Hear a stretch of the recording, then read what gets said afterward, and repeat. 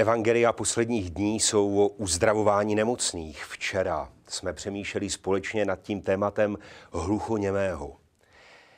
A v tom evangeliu byla velmi důležitá dvě slova. Efata, otevři se, a slina. To je taková jemná niance, která se nevyskytuje v evangelích příliš často. A my jsme přemýšleli nad velikým rozdílem dvou zvolání Efata. Zvolání světa, který také po církvi křičí a řve, církev by se měla otevřít a otevřít. A jedním dechem vám plivnou jedovatou slinu do tváře. Jaké jsou důsledky tohoto násilného otevírání, to jsme si říkali také.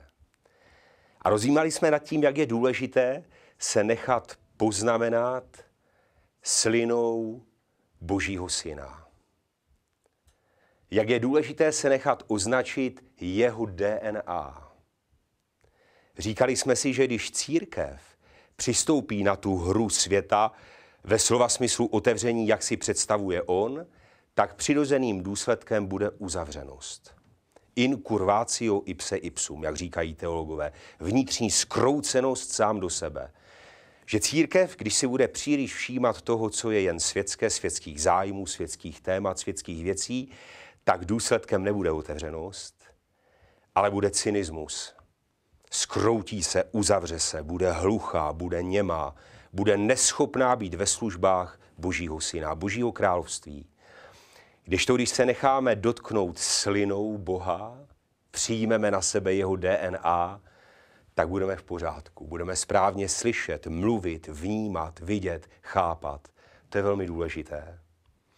A v tom dnešním slova smyslu dalšího člověka, který je tolik potřebný, který je svým způsobem postižený, handicapovaný, je ochrnulá pravá ruka. Vzpomínám si, když Jan Pavel II sloužil mši svatou krátce po válečném konfliktu v Sarajevu, tak tam před ten hlavní oltář vystavili sochu torzo Ježíše Krista ukřižovaného. Torzo toho korpusu. Byl ohořelý po bombardování, po střílení místního chrámu, ne přímo katedrály, to přesně nevím, a chyběly mu ruce. A mnozí novináři se ptali, že co to je, že to není pěkné, takové torzo, že kde ten Ježíš má teda ty ruce. A Jan Pavel II. říkal, my máme být jeho ruce. To byla velká síla, veliký symbol toho, že Ježíš je základ, on je tím korpusem, že tajemné, mystické Kristovo tělo je církev. Ale my, každý z nás, máme být jeho pravou rukou, prodlouženou rukou, protože Bůh rád spolupracuje. Takový zkrátka je. Někteří se ptají, to on potřebuje pořád nějaký sekretariát, tam tu panu Marii a tam ty anděly. Nepotřebuje.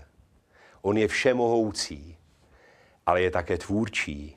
A on rád spolupracuje a rád poděluje různé úkoly, prostě vytváří společenství lidí, osob, bytostí, které jsou mu v té kreativitě, v té potenci, v té moci zkrátka podobní.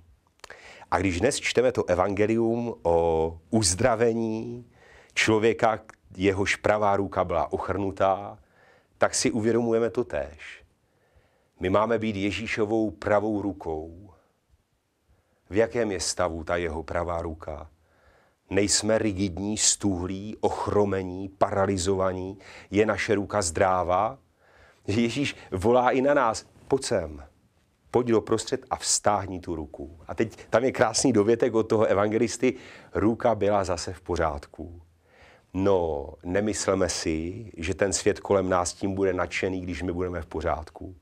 To, že na sobě pracujeme, to, že jsme upřímní, to, že se spovídáme, to, že přijímáme svátosti, to, že chceme být kvalitní lidé a pomoct světu, lidem, společnosti, nesetkáme se s pochopením, budou zuřiví, jak všichni ti, kteří sledovali, co ten Ježíš dělá. Tam o žádnou sobotu vůbec nešlo. I kdyby to bylo v úterý, ve čtvrtek, všecko jedno, dělá dobro, šli mu po krku.